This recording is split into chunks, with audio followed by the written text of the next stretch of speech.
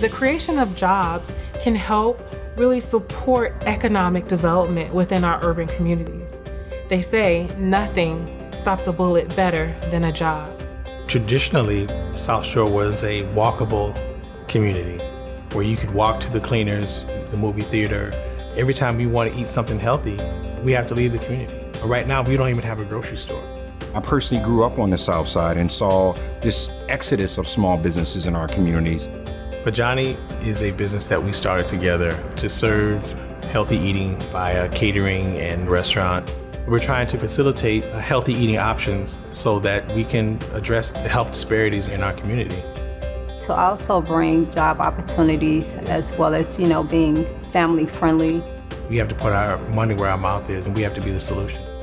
Citi had a risk appetite to fund a new microlender. We'd not done it before. This was new to us. Citi was very instrumental in providing the necessary funding. They were our angel investor.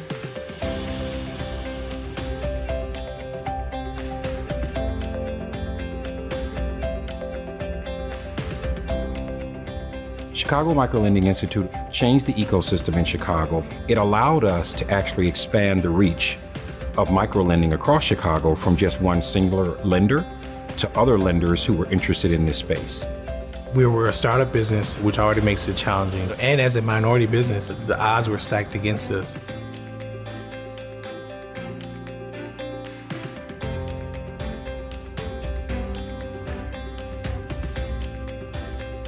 CNI has concentrated much of its development work within the Pullman neighborhood. Our microfinance group's reach is way beyond the Pullman neighborhood. Some of the neighborhoods where we've deployed loans are South Shore, Woodlawn, Auburn Gresham, Chatham, Bronzeville. We see the great work that they're doing in the communities, and we see the people that they're hiring. They were the original lender that believed in us when nobody else would. We knocked on a few doors that uh, wasn't going anywhere, and CNI was the first lender that said, We love what you're doing, we love your mission, your vision for the community, and we're here to help. We want to ensure that we're providing and empowering that business with tools necessary to survive and thrive. Bridging the gap for small businesses kind of starts with a person. People do business with people. Sometimes this is more than just looking at a balance sheet. Our organization's success stems from the fact that we really do care. We treat our businesses like family. Working with Erica King, she was a champion for Majani. And as we've gone through the peaks and valleys of needing more capital, needing more time, it made me feel comfortable that this was the partner that we needed to be with. Chicago Neighborhood Initiatives Microfinance Group has deployed nearly $1.5 million in microloans to over 87 businesses. 84% of those businesses are African American entrepreneurs. The work that's been done here in the Pullman district, crime has dropped 50% as a result of the investment into the community. In the African American community, historically, food has been at the epicenter of our culture.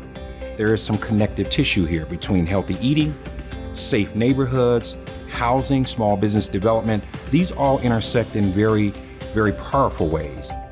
The long term goal of Majani is to bring quality, affordable, healthy cuisine to every neighborhood that needs it.